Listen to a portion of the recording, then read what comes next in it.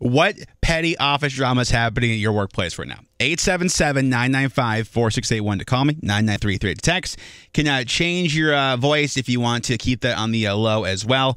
And the uh, best one, you win tickets to Firefly. Let me go to uh, Melissa. Good morning, Melissa. Good morning. All right, so at your workplace, the uh, petty drama happening right now is what? We have this 28 lazy ass man child Oh. who is offended and butthurt that he was told to play his video games on his break in the break room on his lunch break and not during company time. I mean, is uh, I was going to Um. ask if it was Erick, but I guess uh, we probably don't. Do you work in our building, Melissa? I do not. I work in Louisville. Okay, because I think uh, there might be some conversation that our executive producer gets uh, too. Yeah. So what is he playing like full on like uh, Xbox, or does he have like a handheld thing, or what's he doing? Yeah, he's playing on his phone Yeah. and then his head's down on his desk or the phone's propped up. Yeah. So he's either playing the game or he's listening to people play the game and he's reacting to it. And and so he was told not to play and then he's complaining that somebody, you know, that we didn't like him playing games Yeah. during work. Yeah. Well, work should be fun. Yeah. Okay, Melissa, hold on one second. I'm gonna put you on hold. Thank you, T, for listening Hi. on the uh, iHeart uh, app. That is awesome. Let me go to uh, fake name Nikki. Good morning. Hi, good morning. Okay, so uh, this is okay. The the issue right now is what? So my pharmacist is very particular, and she has a favorite stapler, and everybody knows that, but somehow it just has keeps disappearing. Now, does it when it does it ever return uh, back, or is it gone forever? Fake name Nikki. Oh, it's uh, it, it's gone. Yeah. Oh. Do you want to know what's interesting, Fake name Nikki? We had a similar issue here, ironically, the where pen? um, there was a couple of years back. Erick, who I consider a dear friend, accused me of all people of stealing his favorite pen. And fake name Nikki, when I say hand to God, I didn't know he had a favorite pen until he accused me of stealing it. Had no idea. And then when I Sure saw how mad he So got, random. he ended up finding the pen somewhere else. I had nothing to do with it. Now the pen has since gone missing uh, again, Yes. and he still thinks it's me. Now I can't put my Are hand to God sure for the second time around. you? The first time hand to God had nothing to do with me, but uh, second time, you know, it's inconclusive. Uh, Fake and Nikki, hold on one second. That is funny because you know, like with Erick, like, I know that drives him crazy. Oh my God, yes. So whoever took it, please give it back. Because uh, we don't we don't want to have Erick be uh, angry. It's not not good for anybody. good, no. Uh, Hillary, good morning. Good morning. Over a cubby hole, Hillary. What? Yeah. So, um, so I'm a teacher. I'm a preschool teacher. I was going to say, are we in and, uh, kindergarten? No, we're in preschool. So um, the uh, the closet in my classroom, okay, Mm. I'm the lead teacher, Yeah. has like a secret cubby hole, and the, for lack of a better word, the teacher that is also the chef, who spends most of her time in the kitchen, is using it. And I politely asked her if I could use it to keep my stuff in Sure. it because I have a bunch of teacher supplies that I want to keep in there. And she was like, "No, I found it. I'm going to use it. This isn't even your classroom. It's the school's classroom." And I was like, Ooh. Dang. What? Ooh. "What?" Oh, yeah, yeah. Ooh. Ew. Yeah. So, so I found the key and I locked it. They're so good. But to So pull the line savage. that it's the school's class, like, all right, bro or madam, what are you? Okay. Hillary, hold on one second, but thank you for being a teacher um, as well. Wait, Kim, wait, you guys have a petty office scoreboard? Yeah, we do. What do you Oh, guys wait, excited. So what do we keep track of? Just like wins and losses or who gets the most butthurt? Yeah, so, so there's rules. Well, both. There's rules. So it started with me and a former coworker because I I thrive on being right. As as a woman does, I thrive on being right. Sure. Yeah. So my coworker and I, it, it started because he tried to call me out on something that he thought I was wrong on, and I was insistent, like, no, I was right, and I wasn't like mean about it or anything.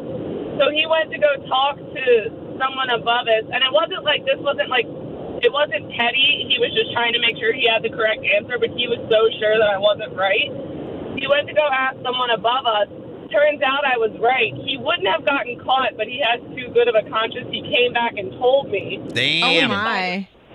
We decided to make a game out of it. So it was like a petty office squabble. Like when you want to prove that you're right, and there's rules to it. You both have to agree before it's resolved that it's going to be for a point, whoever's correct. And then at the end, if you can't resolve it, you have to bring in a third party to decide the tiebreaker. You know I what's funny, this. Kim? Like, in, in like, not, it's funny how this keeps getting brought back to me and Erick. I used to have a scoreboard of like proving I was right, and like you I had, really? a hun- I had the wall predictions. Yeah. Because like I would say things, be like, no, it's not gonna happen, and I and like it got to be boring because to be honest, it was always right. Mm. And be- it's kind of one of those one of those things. My pre- my previous Oh, coworker, um, he left a little. He left a few months ago, but before he left, he actually bought me a trophy that said "Queen of the Petty Office Squabble" and it's got like a crown on it. Oh, that's I would display that proudly. Yeah, no, that that's pretty sick. "Yeah, she's always right. Yeah. I, oh, I love that. it. Okay, Mm-hmm. Kim, hold on one second. You were in the running. I, you hear him yelling in the other Yeah. room? I don't, I don't know why He's he been would be squawking doing for a that. minute now. Yeah, okay, uh, let me go. Uh, Daniel, good morning. Hey, good morning. So you work at a school. Uh, and the Yep. the petty uh, issue going on right now at the school is what? Yeah, so we have two copiers. We have our general copier for all the staff and uh, our specific office copier. And when that general copier is out, there's a ton of drama over everybody coming down and flooding our copier with all their requests. That's one. What though? That's so true though. Like, and and for us too. Like, there was drama here about the water, and if you missed that saga last year when That we were, was it was the desert here, but people taking stuff all the time. That's um, that's funny. So how often does the copier go out?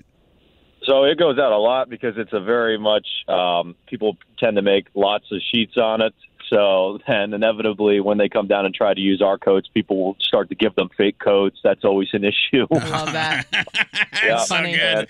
Oh, that's so good. Okay, uh, Daniel, uh, one second, you in the running. By the way, I, there's another office drama here that I don't know if I should say this one.